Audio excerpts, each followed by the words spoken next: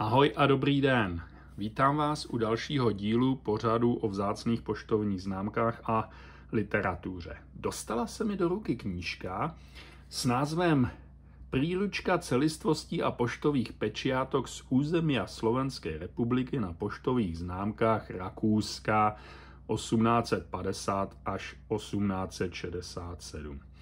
Myslím si, že tato knížka by mohla zajímat každého sběratele, který se zajímá o historii, poštovní historii Slovenska, po případě o rakouské známky.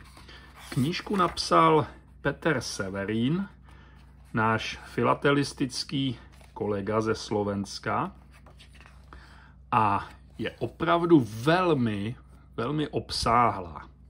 Kniha má celkově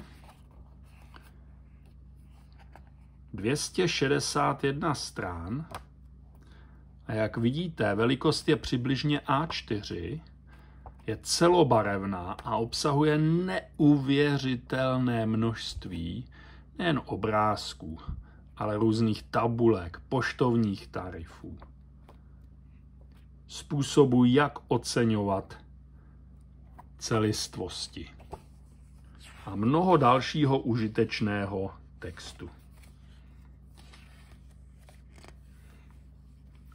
Začíná to vnitrostátními poštovními poplatky, což je samozřejmě velmi důležité pro oceňování celistvostí, aby byla celistvost správně vyfrankována.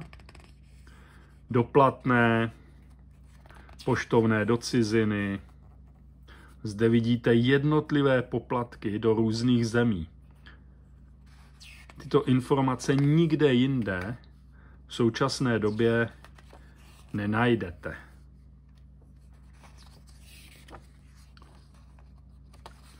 A je tam samozřejmě spousta dalších zajímavých informací.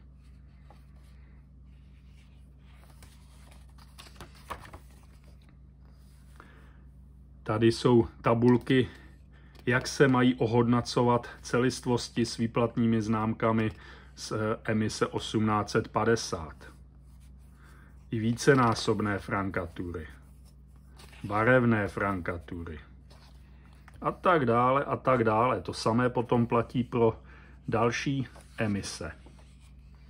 Tady máme emisi z roku 1858.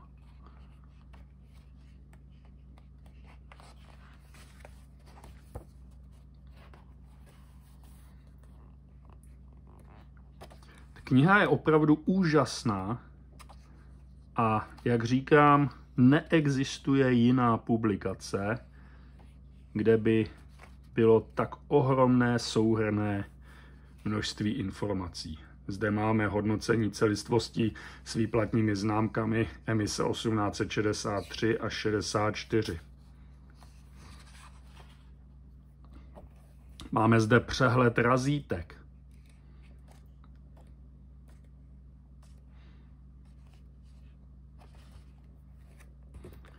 No jak vidíte, je to krásná kniha. Vydala ji společnost Heinrich Keller z Německa. Kniha je ve slovenštině, v němčině a v maďarštině. A podle mých informací jich mají stále ještě pár na skladě, ale jak už to u této literatury bývá, eh, bylo vydáno jen opravdu velmi malé množství kusů a jakmile bude kniha vyprodána, tak její cena s největší pravděpodobností výrazně stoupne. Současná prodejní cena v Německu je 79 euro, což je přibližně 2000 korun a osobně si myslím, že ta cena je velmi, opravdu velmi přiměřená. Protože čas, který musel autor na zpracování této knihy strávit, se touto cenou nemůže ani nikdy zaplatit.